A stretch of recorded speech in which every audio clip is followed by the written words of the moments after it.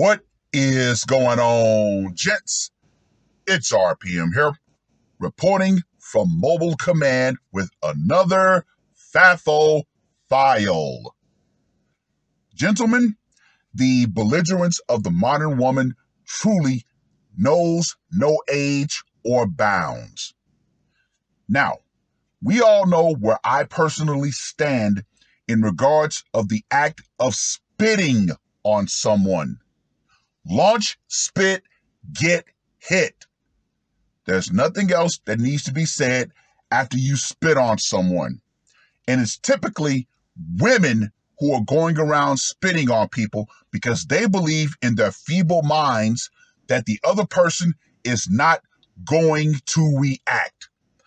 Now, there was a story a couple of years ago of two women who were arguing in a parking lot, and one woman actually spat on the other woman.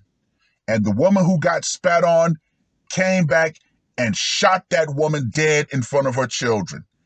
Now, do I believe it should have escalated to that point? No. However, ladies, you need to understand this. When you spit on someone, how that person reacts is completely out of your hands. Like the woman in this article that was published on the 10th of June.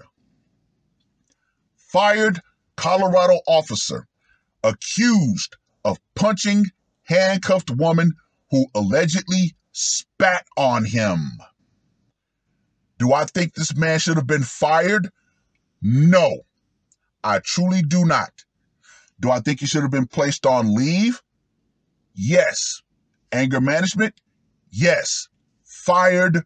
No.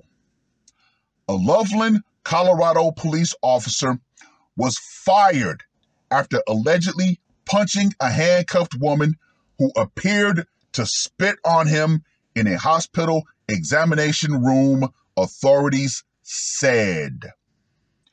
In body camera footage from the May 20th incident shared Friday by the Loveland Police Department, the woman curses at Officer Russell Moranto as she is escorted to a chair. She is heard calling the officer names, including a piece of shit. When the officer takes a piece of paper from her hand, she becomes angrier. Hey, Fucking give it back to me, you fucking piece of shit, she says.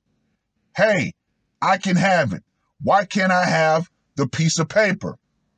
The video shows the woman identified as Angelia Hall, 59, spit toward the floor while she continues to demand they return the piece of paper to her. She continues to yell before spitting at the officer. See that right there?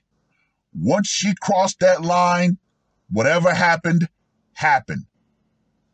In the video, Moranto strikes the woman in the face. A second officer intervenes and steps between the two. The woman screams that she wants video of the officer allegedly hitting her. Quote unquote, he fucking punched me in the face, she yells, I want video of that. I didn't touch him. My hands are handcuffed. I can't even fight back. That should have been the first thought that went through your pea brain before you decided to launch your bodily fluids at the officer. Now, we all know in certain jurisdictions, if you spit on a police officer, that is considered assault. In a video statement Friday, Police Chief Tim Doran praised the second officer for stepping in and said that the officers were quote unquote verbally harassed by excessive profanity and periodic racial slurs. Now, that right there, in my humble opinion, is where I have to call a spade a spade. Mr. Moranto appears like he might be Latino. So, in my humble opinion, Mr. Moranto should file a wrongful termination suit, especially if the police chief is willing to acknowledge the fact that they were victims of racial slurs and the fact that that woman felt comfortable in spitting on him. Yeah, in my humble opinion, Mr. Moranto did not overreact. He said a supervisor was called to the examination room and the incident was immediately reported. Quote unquote, Loveland, our police department is filled with brave, respectful, and honorable public servants, and we all agree inappropriate conduct will never be tolerated or downplayed by our department, he said. The district attorney's office is still considering criminal charges against Moranto, 28.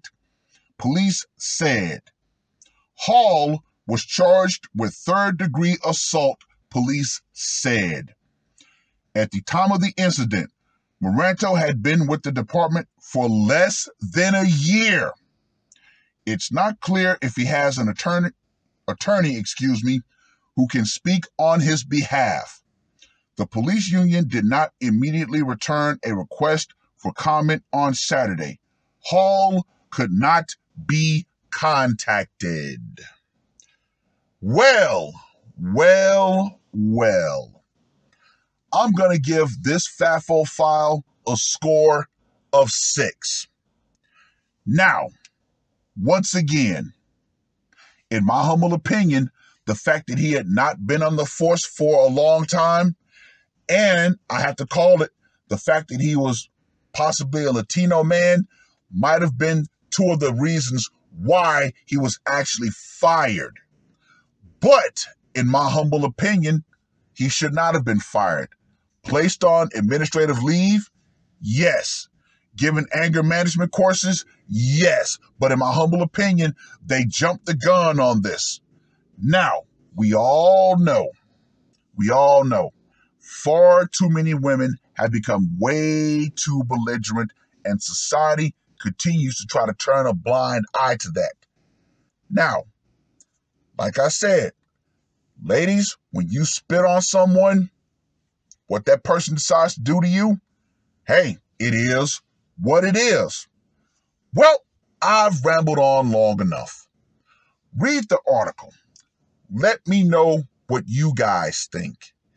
Oh, and make sure to check out the comment section on this article. There are far more agreements with the officer than there are women or should I say people, saying that this woman is a victim. Yeah, far too many people spitting on them. That's a line that should not be crossed.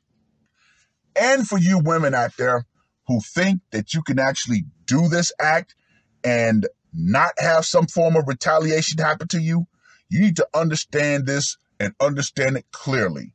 The power you think you have in this society is definitely going out. Feminism and the idea that men are going to continue to restrain themselves, especially after being spat on, is going out right along with it. Trust and believe, ladies. You spit on someone, that person might fuck around and beat you down. It is what it is. That's all I got to say for this one.